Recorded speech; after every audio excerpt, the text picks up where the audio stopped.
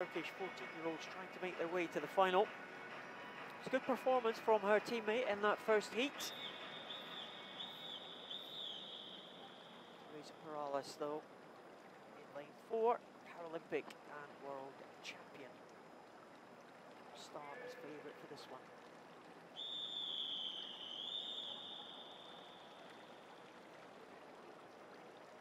So what will Teresa Perales be thinking after seeing that time in that previous heat race? She's a very experienced campaigner, so she will have had one eye on it, but all, all the heats are about getting through, getting a lane for that final, so she won't be too phased. Heat two of the women's 50 backstroke. S5, Teresa Perales into, into an early lead, but up pops Boyaci in that outside lane, and again, very similar disability, very similar story to her teammate in the previous heat. Yes, and we will see they will learn from each other, and that's a great thing about having a squad. And they, they you play to their advantage, and they're actually doing very well actually here to stay in the lead as we enter the final 50 meters. But Teresa Perales, nice long stroke, nice powerful stroke. Should be hoping to catch Boyaci, who's having a blinding swim here as she goes into this final five meters.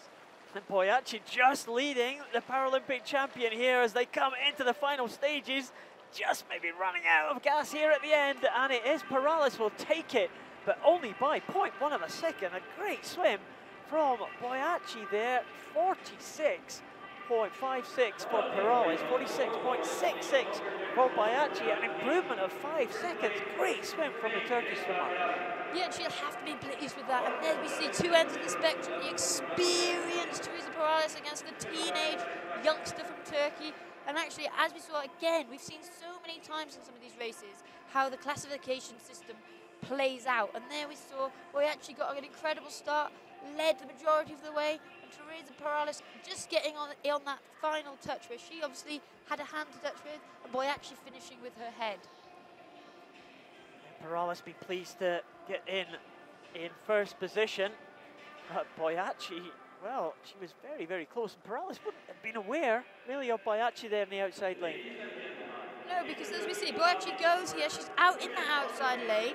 She's already quite far out of the field of vision, but then she doesn't you have any arms to use. So in backstroke, you might catch someone's hand out the corner of your eyes, but you, there's no way that Teresa Perales would have seen that.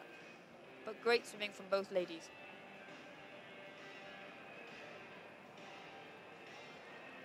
Teresa Perales takes heat 2, 46.56 ahead of Boyaci. Natalia Shavel, 49.99 in third position.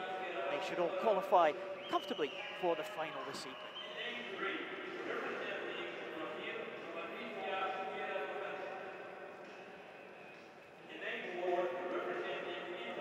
Go back to the other end of the pool. You can see there